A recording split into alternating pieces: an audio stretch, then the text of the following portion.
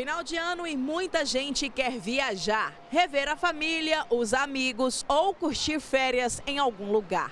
Com o preço alto das passagens, há quem escolha o transporte clandestino, que pode até parecer mais barato, mas é aquele famoso barato que sai caro. Apesar dos perigos de viajar em veículos irregulares, muita gente ainda se arrisca.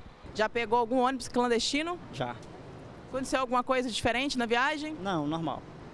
Foi mais barato, mas é porque não tinha outra opção também. Só ia sair ele, eu fui nele. Seu Djalma conta que já viajou em ônibus clandestino, mas de uns tempos pra cá mudou de opinião. Hoje acho que não. Só se eu não achar passagem igual aqui em vez em quando falta, né? Aí não tem outra escolha. É, aí tem que ir. né? Para impedir que esses ônibus irregulares continuem viajando, a NTT montou uma operação em parceria com a PM e a PRF ao redor da rodoviária de Goiânia e nas GOs 080 e 060 e também na BR 153. Esse ônibus, por exemplo, foi apreendido. Ele foi fretado por uma companhia aérea e vinha de Brasília com 48 passageiros. Não tinha registro e também não estava licenciado pelos órgãos responsáveis para realizar o trabalho. A NTT tem intensificado, junto com a Polícia Militar do Goiás e a PRF, em parceria, realizando essa operação para orientar e coibir esse, esse tipo de transporte que é frequente aqui na- no entorno da rodoviária. O motorista desse carro prata fazia o transporte de três passageiros para Brasília.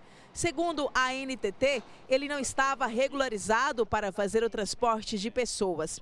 Na rodoviária, ele mostrou uma receita médica, alegando que trabalha sem registro para custear os remédios que ele toma. E o senhor faz, faz sempre esse transporte? Faço direto, faço direto. Eu não vou morrer de fome, né? Eu tenho que trabalhar. Para que se possa realizar o transporte de passageiros interestaduais, é preciso ter uma autorização do poder concedente. No caso, a NTT é que dá essa autorização.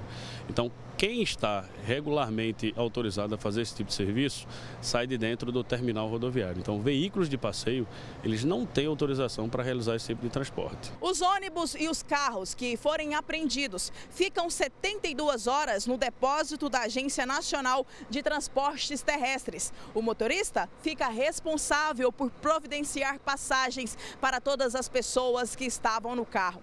O motorista também não fica preso e é liberado depois de registrar a ocorrência. À medida que nós fazemos essas operações, temos verificado várias irregularidades. Eh, os motoristas andam acima da velocidade permitida na via, porque eles estão fugindo da, da fiscalização muitas vezes, utilizando vias vicinais para burlar a fiscalização. Motoristas não têm, nós já pegamos motoristas não habilitados, motoristas sem o curso obrigatório para transporte coletivo de passageiros, eh, veículos em péssimas condições de manutenção, pneus carecas, eh, para-brisa trincado, sem extintor e sem cinto de segurança.